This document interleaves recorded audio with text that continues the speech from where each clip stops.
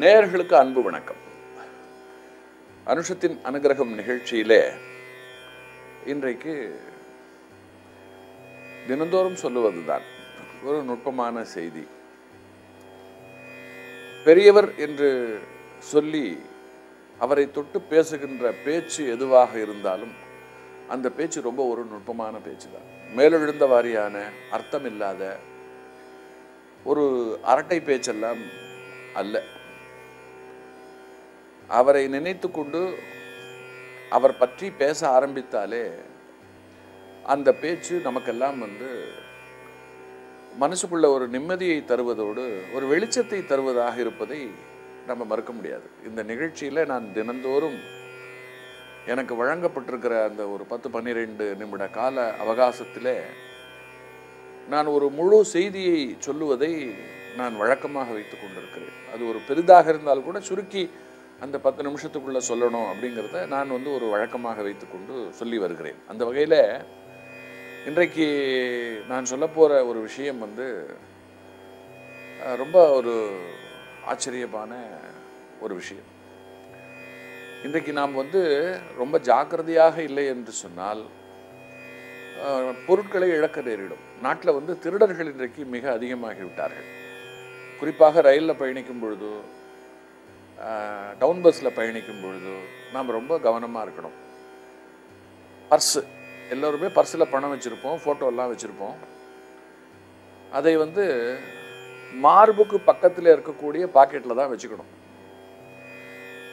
எந்த காரணத்தை கொண்டும் செல்வம் சார்ந்த விஷயங்கள் இடுப்புக்கு கீழே போகக்கூடாது. ஆனால் பலருக்கு அது தெரிவதில்லை. பல பேர் வந்து பிக் பாக்கெட்டில் பர்ஸ் வச்சுக்கிறது சைட் பாக்கெட்டில் வச்சுக்கிறது. குறிப்பாக பிக் பாக்கெட் பிக் பாக்கெட்டில் பர்சை சொருகி வச்சுக்கிறது கை டக்குன்னு எடுக்கும் கொள்ளும் பிக் பாக்கெட்டில் பணம் வைக்கிற காரணத்தினாலேயே பிக் பாக்கெட் திருடர்கள் அப்படின்னு ஒரு கூட்டம் உருவாகி விட்டது நாம் எங்கோ பார்த்து கொண்டு நின்று கொண்டிருக்கும் பொழுது நமக்கே தெரியாமல் பின்பக்கத்திலிருந்து அப்படியே ஒரு பரபரப்பை ஏற்படுத்தி நம் கவனம் அதில் இருக்கும் பொழுது பர்ஸை அடித்துக்கொண்டு ஓடி விடுகிறார்கள் அதே நம்ம மார்புகிட்ட இருந்ததுன்னு சொன்னால் அவ்வளவு சுலபத்தில் அதை திருட முடியாது. ஒரு பிக் பாக்கெட் திருடன் இது போல ஒரு மகா பெரிய ஒரு பக்தர் அவருடைய பர்ஸை திருடிவிட்டான் அது எப்படி தெரியும் அப்படின்னா அந்த பர்ஸை திறந்து பார்க்கும் பொழுது அந்த பர்ஸில் பெரியவருடைய ஃபோட்டோ இருக்கு. கூடவே ஒரு கடிதமும் அதாவது அந்த ஒரு அந்த கடிதம் அந்த பர்ஸுக்கு உரியவருக்கு அந்த அம்மா அந்த பர்ஸுக்கு உரியவருடைய அம்மா வெளியூரில் இருக்கா? அந்த அம்மா கடிதம் எழுதியிருக்கிறார். அந்த கடிதத்தில் என்ன எழுதியிருக்குனாக்கா நீ வர்ற ஞாயிற்றுக்கிழமை வந்து கட்டாயமாக ஊருக்கு வந்துடும் உங்கள் அப்பாவுக்கு சிரார்த்தம். சிரார்த்தத்தை வந்து எது இருக்கோ இல்லையோ நம்ம சிரார்த்தத்தை கட்டாயம் சரியாக செய்யணும். சந்தோஷமான விஷயங்களை எல்லாம் கூட நாம் வந்து தவிர்த்து விடலாம். ஆனால் பித்தர்களுக்கான காரியங்களை செய்கிறதுல நாம் வந்து எந்த நிலையிலையும் காலம் தாழ்த்தக்கூடாது. அதுக்கு கொஞ்சம் செலவாகும். என்ன பண்ணுறது நீ கஷ்டப்பட்டு சம்பாதிக்கிற எனக்கு தெரியும். வேறு வழி இல்லை. அதனால் எப்பாடுபட்டாவது ஒரு ரெண்டாயிரத்து ஐநூறு ரூபாயை நீ கொண்டு இந்த இது வந்துடும் உங்கள் அப்பா ஆசீர்வாதத்தினால நிச்சயமாக நம்ம கஷ்டமெல்லாம் நீங்கி நாம் நல்ல நிலை அடைவோம்னு நான் நம்புகிறேன் நமக்கு மகாபிரியவர் துணை இருப்பார் அப்படின்னு அந்த அம்மா அந்த லெட்டரில் எழுதியிருக்காங்க.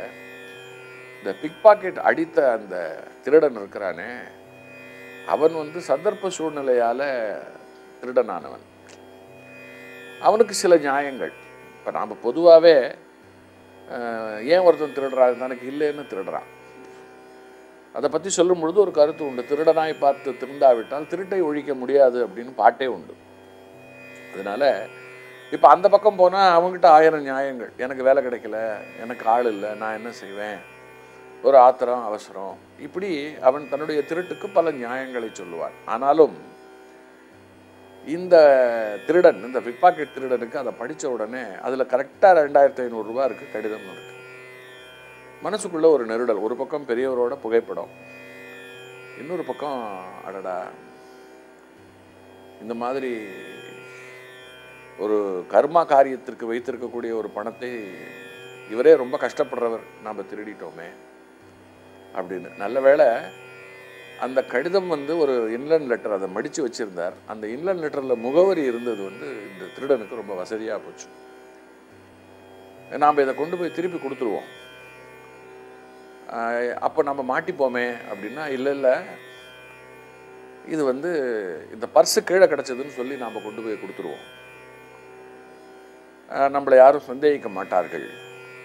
நம்ம திருடினதே அவருக்கு தெரியாதே அப்படின்னு மனசுக்குள்ளே ஒரு மாற்றம் ஏற்பட்டு முதல் முறையாக வாழ்க்கையில் ஒரு நல்ல காரியம். இத்தனைக்கும் அவனுக்கு அப்பொழுது அவகோர பசி அந்த பர்ஸை எடுத்துக்கொண்டு போய் நேராக ஹோட்டலில் போய் சாப்பிட்டுட்டு தான் அடுத்த வேலை பார்க்கணும்னு நினைத்தவன் அந்த கடிதத்தை படிக்க போக அவனுக்குள்ள இப்படி ஒரு மனமாற்றம்.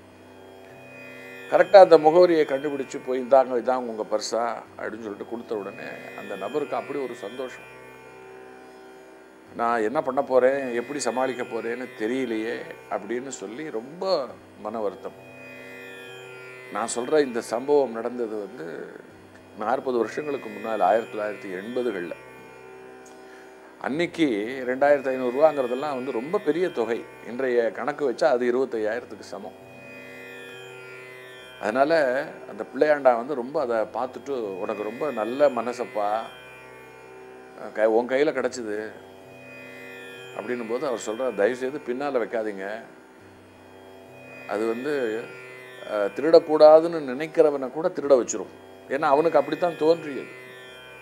இது எக்காரணத்தை கொண்டு நான் பிக் பாக்கெட்டில் வைக்க மாட்டேன். இனிமேல் நான் மார்புக்கு மேலே தான் வைப்பேன். இதில் நான் வந்து கௌரவம்லாம் பார்க்க மாட்டேன் என்று சொல்லி அந்த பர்ஸை வைத்துக் கொள்கிறார். அப்போ நீ என்ன பண்ணுற அப்படின்னு கேட்கும் பொழுது வேலை தேடி அலைந்து கொண்டிருக்கிறேன். நான் ஒரு வேலை இல்லாப்பட்டதாரி விஐபி அப்படின்னு சிரித்து கொண்டே சொல்லுகிறார் நான் வந்து ஒரு நிறுவனத்தில் இப்போ தான் வேலைக்கு சேர்ந்துருக்கேன். இந்த மாதம் தான் நான் முதல் சம்பளம் வாங்க போகிறேன் அங்கே நிறைய புதியவர்களை வேலைக்கு எடுக்கிறார்கள். நீ வரையா? அப்படின்னு கேட்டு அதற்கு என்ன தாராளமாக எனக்கு நல்ல வாய்ப்பு கிடைச்சா நான் வரேனே என்று சொல்ல அந்த நிறுவனத்திற்கு வேலைக்கு போய் அந்த வேலையில் சேர்ந்து அங்கே கடுமையாக பாடுபட்டு ஒரு மிகப்பெரிய பொசிஷன் அதாவது இந்த சேர்ந்த நபர் சேர்த்து விட்டவரை விட ஒரு பெரிய ப்ரொமோஷன் அது இதுக்கு மேலே வந்துட்ட ஒரு நிலையில் ஒரு நாள் அந்த இப்போ அவர் நண்பர் ஆயிட்டார். நண்பர்கிட்ட சொல்கிறார் உண்மையில் உன்னுடைய பர்ஸை திருடினது நான். அது எனக்கு ரோட்லெல்லாம் கிடைக்கல. நான் ஒரு திருடன். ஆனால் உங்கள் அம்மா எழுதின கடிதம் என் மனதை மாற்றியது. அடுத்து பெரியவரோட படம் என்னை யோசிக்க வைத்தது. நான் வந்து அந்த நேரத்தில் என்னுடைய பசியை கூட பொருட்படுத்தாமல் திருப்பி கொடுக்க நினைத்தேன். அந்த ஒரு நல்ல எண்ணம் இன்றைக்கு என்னை இவ்வளவு பெரிய இடத்துல கொண்டு வந்து உட்கார வச்சிருக்கு. இதுக்கு காரணம் அந்த படம். நான் வாழ்க்கையில் எந்த நிலையிலையும் நான் வந்து மறக்கவே மாட்டேன் பெரியவரை. அவர் வந்து என்னை திருடனாக இருந்த என்னை திருத்தி என்னை வந்து அவர் எப்படி ஆட்கொண்டிருக்கிறார் பார்த்தாயா? அப்படின்னு அவர் சொல்ல இது என்ன ஒரு நிகழ்ச்சியான ஒரு சம்பவம் இல்லையா? ஒரு ஒரு இது ஒரு சிறுகதைக்கான கருவும் கூட. ஆனால் இது வந்து ஒரு பெரியவருடைய வாழ்க்கையில் நடந்த ஆயிரக்கணக்கான சம்பவங்களில் பெரியவருடைய அன்பர்கள் வாழ்க்கையில் நடந்த சம்பவங்களில் இதுவும் ஒரு சம்பவம். இது இதை வந்து அவராக சொல்ல போக நமக்கு வந்து பின்னாளில் தெரிய வந்தது. இது நமக்கு வந்து பல அரிய விஷயங்களை சொல்லுகிறது. தவறு செய்வது இயற்கை ஆனால் அதை தொடரக்கூடாது. துணிந்து நாம் வந்து மாற்றங்களுக்கு நம்மை தயார்படுத்தி கொள்ள வேண்டும். நம்மகிட்ட நேர்மை இருக்குன்னு சொன்னால் அந்த நேர்மை நம்மை கைவிடாது. அது நம்மளை சோதிக்கும் நமக்கு கஷ்டம் தரும் ஆனால் முடிவு இறுதி முடிவு இருக்கிறதே அது சிறப்பானதாக மட்டும்தான் இருக்கும். அதில் வந்து எந்த விதமான சந்தேகமும் நமக்கு தேவையில்லை. பெரியவர் மூலமாக நமக்கு தெரிய வருகிற இந்த செய்தி எப்பேற்பட்டது இல்லையா? தொடர்ந்து காஞ்சி நகர் உரையும் காமகோட்டி குருவே காமகோட்டி குருவே காமகோட்டி குருவே.